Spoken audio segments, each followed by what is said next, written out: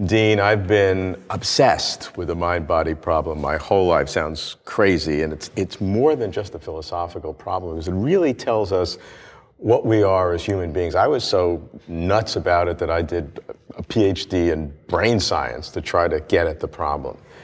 As a philosopher, how can you begin to lay out the mind body problem so we can, we can understand the scope of it? I, I sort of think of it as, as uh, having two basic components.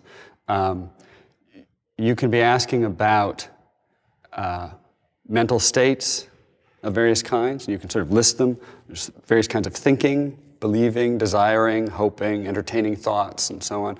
There's also uh, uh, phenomenal states, uh, various kinds of feelings, bodily feelings, sensations, different kinds. And these seem to fall into, into two natural categories. Um, the, the, the first are often called intentional. You're thinking about something, mm. something distinct from yourself. You're somehow managing with your mind to reach out and grab onto uh, uh, parts of the world in some way. Uh, and you can think about things that don't exist, you know, how do you do that? um, but that, that's, that's uh, a part of the mind that seems to have to do with, um, uh, with, with referring and with uh, truth and falsehood. So when you think these things, you know, if I think there is a unicorn, I think something false. if I think that there isn't, I think something true. Um, then the phenomenal side doesn't seem to have to do with truth and falsity and, and uh, uh, referring to things outside yourself. It's, uh, it's, it's a matter of you know, how things feel to you. And um, seems more primitive in a way, I guess. Um, and I think these probably, this is probably a very natural kind of division of mental states into two kinds. Um, and then you can ask two sorts of questions about mental states. Um, you can ask, what is it that has these things? Okay. Um, and I take this to be the question of, you could call it substance materialism versus substance dualism. So you're asking, what is the substance or the thing that has these intentional states and these phenomenal states? What is it? Um, you know, answers, it's the brain. I mean, that's a very natural answer because. In the mind body problem, that's the way it was characterized hundreds of years ago, but it's really the mind brain problem. It, that feels right because you look at the whole body, it seems like the whole body doesn't, doesn't, uh, isn't essentially involved in thinking. Right? right? You could whittle it away bit by bit until uh, you know just the brain is left, and, and in principle, it feels like they're, they're, they're going to still be thinking. So, uh, so it does seem to focus on uh, uh, uh, the brain as a very natural candidate for the thing that is the subject of these mental states. So would that be the substance materialism yeah, part so of that, So that would be substance materialism. Now, of course, there have been other versions of substance materialism mm-hmm. that have said, no, no, no, it's not just the brain. I am a thinking thing. I'm also an organism, you know, from my toes to my head. That's the thing that's thinking. It somehow thinks because there's a brain inside of it, but it's not the brain that's the subject of these mental states. It's the, the animal, the whole mm-hmm. animal. Mm-hmm. I, I sort of think, you know, if I was going to be a materialist, which I'm, I'm you know, in my heart of hearts, I'm not. but if I was going to be one, I would say, yeah, well, there's this whole organism here, but, you know, my toenails and my hair, they don't have much to do with my thinking.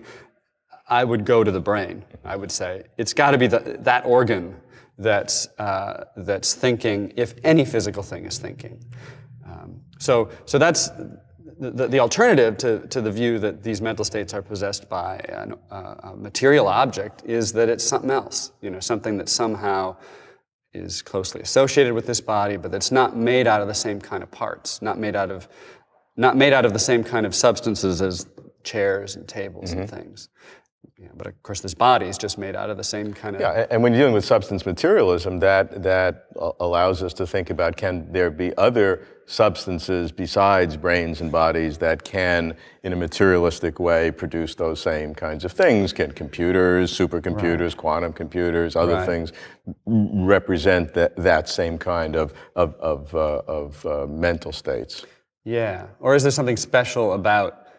Uh, organic stuff. Sure, sure. Um, I mean, That, that, that's a, that's, a, that's a, a derivative question, but it's still under this concept of substance materialism. What is the substance?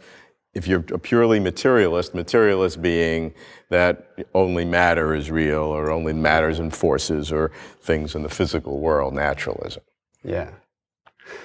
Right. And there might be different answers to these two different, uh, with respect to these two different kinds of mental states. So you might say, um, look, uh, intentional phenomena, so believing something, desiring something, thinking about an object, um, you can do all of these things without having any particular phenomenal experiences. So, uh, kind of stock example, if I'm thinking about Vienna, there doesn't have to be any particular mental imagery that goes along with that or any particular feelings. You know, maybe I have a kind of image of a church that I saw there or, or uh, the sound of an organ that I heard in that church there or, you know, or some kind of image of a map of the, the ring. Uh, uh, but none of those are crucial to the thought. Um, so perhaps phenomenal experiences are not really necessary for that kind of thinking.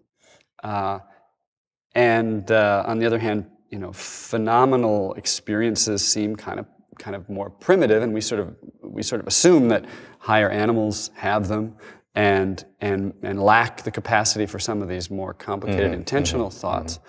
So so I, I guess some people have thought no problem about having a computer that has intentional mental states. You know, so you hook up the computer in the right way, and it, you know, it maybe it's uh, it's processing information, uh, taking in information about the environment, and and and uh, maybe it's got robotic arms and so on, so it's able to interact with the environment. You can say, well, it believes that.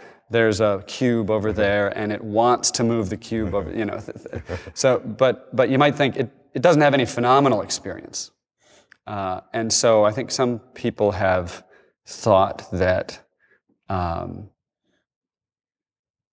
well, they've been really convinced by their gut feeling that the computer could never have phenomenal experiences and have said, must have something to do with organic chemistry. So the, the phenomenal really Th- is. Those are still the materialists. right. Yeah. Right. So absolutely. they're fully materialist, naturalist, Yeah. but they still will differentiate between uh, the different kinds of substances that can that can engender the phenomenal states. Right, right. And and then and then you know plenty of people have thought no computer could you know computers can only simulate thinking right. of any kind.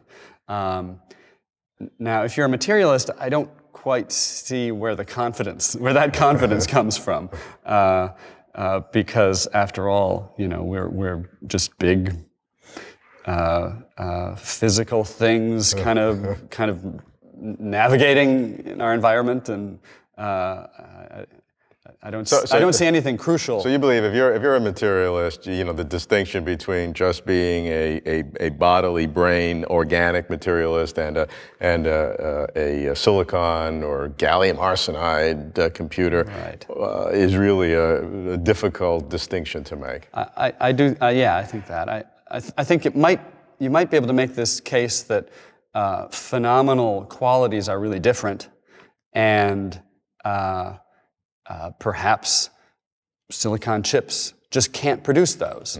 Um, but that would just be a sort of contingent fact about the way the world works. It turns out you can generate that kind of, you know, uh, uh, brilliant, colorful phenomenology. You can generate that if you use this kind of stuff, but you can't generate it if you use uh, chips. So what about substance uh, uh, dualism? Uh, uh, Right. So, I mean, uh, a lot of people have a you know, kind of in principle objections to substance dualism. They'll say, look, uh, what's it supposed to be? Some kind of extra something or other that has these mental states of some kind, but it's distinct from the body. So it's non physical. But if it existed, surely it would, if it was any good at all, it would be pushing things around in my brain Uh, it would be interacting with my brain, like Descartes thought that it did.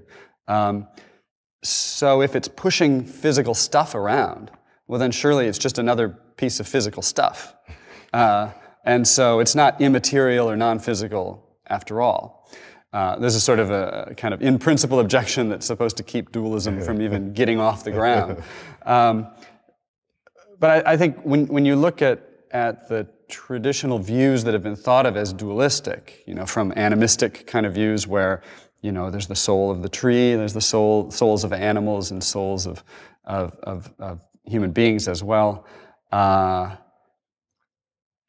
they've thought that there was a different kind of substance, and the substance was different from ordinary objects, uh, and yet somehow uh, able to interact. And um, then later, kind of more sophisticated dualisms like Descartes had attributed various properties to this extra thing. Um, so I, I regard uh, you know, substance dualism as a, as a kind of spectrum of views. You could have a very extreme kind of substance dualism that says the thing that has mental states like you know, thinking about you or having feelings, that thing is utterly unlike the stuff that physics studies, the stuff that, that can make up non sentient things like chairs and tables.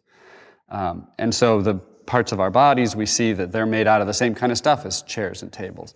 So the most extreme dualism says the thinkers, that whatever thinkers there are, are very unlike anything that you could make out of that sort of stuff. Um, most extreme kind would say thinkers are outside of time, outside of space. They have absolutely no properties in common with anything that could be made out of non sentient material less extreme kinds of dualism, more familiar ones. Uh, souls are outside of space, but they're in time.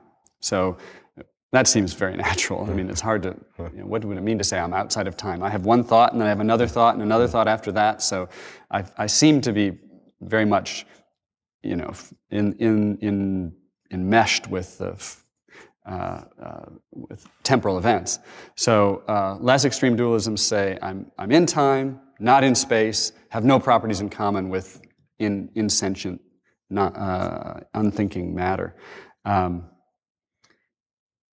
and then you have other gradations too. So some people, uh, Hermann Lotze, uh, who's one of my favorite philosophers, favorite forgotten philosophers, um, he thought that uh, souls were in space, that they're located in the brain, uh, where exactly? Well, of course, Descartes thought that you interact with the pineal gland, but uh, Lotze knew a bit more about the brain, and he thought, well, there's stuff going on all over the, you know, all over the place in the brain. So the soul has to be here sometimes, it has to be here sometimes, and it's wherever it needs to be, basically. Uh, and it doesn't have parts uh, located here, parts located here. It is just here, and then it's also here and also here. Um, but anyway, his souls were in space, uh, but they lacked all sorts of other properties that ordinary matter has. Um, and uh, you could have even more sort of, mm, you know, you could have ectoplasmic, divisible mm. souls um, that still ought to count as a kind of dualism as long as you're claiming only thinkers are made out of this kind of stuff. Uh, and uh, thinkers can't be made out of this kind of stuff.